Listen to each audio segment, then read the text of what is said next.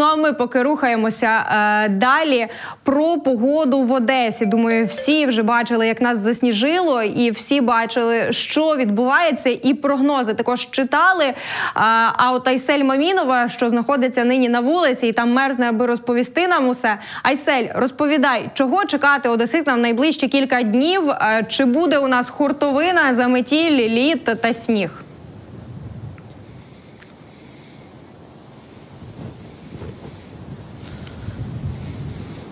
А, Привіт, Іванка, привіт, студія. Так, одразу розкажу про попередження небезпечних метеорологічних явищ. По Одеській області протягом 12 лютого очікується сильна завірюха, сніг, видимість під час снігопаду 200-500 метрів. І в першій половині ночі очікуються ожили. Також температура наразі мінус 7 градусів. Вона буде тільки понижуватися. Такі погодні умови взагалі вважаються потенційно небезпечними для місцевих жителів. А, Через такий мітер е, через Через такий вітер можуть падати дерева, дорожні знаки, обриватися дроти і навіть частини різних конструкцій. Від будівель, а це в Одесі не рідкісне явище, як ми знаємо. Взагалі на фоні обвалень, що трапились на цьому тижні, треба бути не дуже обережним. А тому одеситам варто перепаркувати свої автомобілі в безпечні місця і уважно ходити під дахами, е, тому що постраждати можуть як городяни, так і їх майно. Тому пішоходам рекомендують не поспішати, наступати на всю подошву, не тримати руки в кишенях, аби убезпечити себе від травм. А також по тротуару ходити уважно і стежити за рухом автомобілів.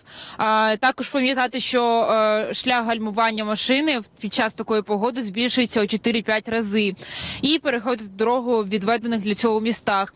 А е, автомобілістам під час ожеледиці рекомендують дотримуватись швидкісного режиму, дотримуватись дистанції, не робити різких маневрів і перед наближенням до пішохідного переходу знижувати швидкість до мінімуму, а також їздити з габаритними чи туманними включеними фарами і не їздити на літній гумі.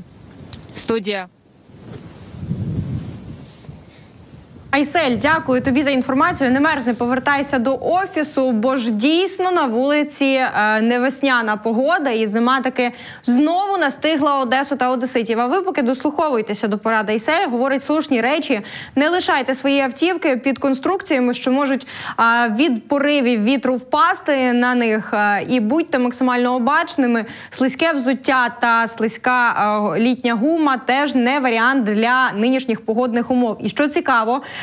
Через негоду власне без світла залишилося залишилося 86 населених пунктів на Одещині в шести ой, перепрошую в шести областях України. Усього 86 населених пунктів знеструмлених через негоду. Бо ж до Одеси вона тільки прийшла, а уже тиждень вирує цей стеклон по всій Україні. Про це повідомляє прес-служба ДСНС. Як передають засоби масової інформації, найбільше без електрики все залишаються е, домівки на Львівщині, е, далі Одеська і Сумська області. Також без світла сидять жителі Київського, Чернігівського районів та Закарпаття.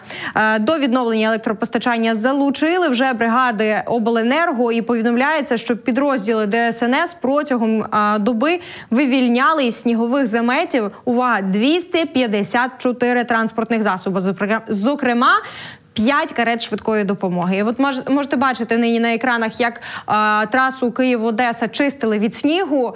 А, проте навіть а, за таких умов а, очищення траси сніг а, то, а, то йде сильніше, то менш активно, і дорогу знову замітає. І не вся техніка встигає. Пізніше послухаємо про особливості боротьби негоди від міського департаменту комунальних послуг. До е, має маємо коментар директора цього департаменту і маємо ще інформацію для одеситів безпосередньо. Аварія на тепломережі. Деякі одесити залишаються без опалення до вечора п'ятниці. Зокрема, е, опалення відключили за наступними адресами: це Троїцька е, від 49-го будинку, 56-й, 54-й, 52-й, 60-й, 45-й та 47-й. Вулиця Преображенська, Буніна, Єврейська, Жуковського, Нечіпуренко, провулок Нечепуренко, Олександрівський проспект, Успенська 60. Також відключили опалення і в ряді навчальних закладів Троїцька 49, Троїцька 47, Жуковського 47, Олександрівський проспект. Е, Але е, тут е, важлива інформація: школярам дозволили не йти в школу в зв'язку з погодними умовами. Тож мерзнути, сподіваємося, ніхто не буде в навчальних закладах. А от у, домівках, де люди живуть на вище згаданих вулицях, це Троїцька, Успенська, Олександрівський проспект і тому подібне. Людям таки доведеться померзнути до вечора п'ятниці, е, поки не ліквідують е, цю негоду.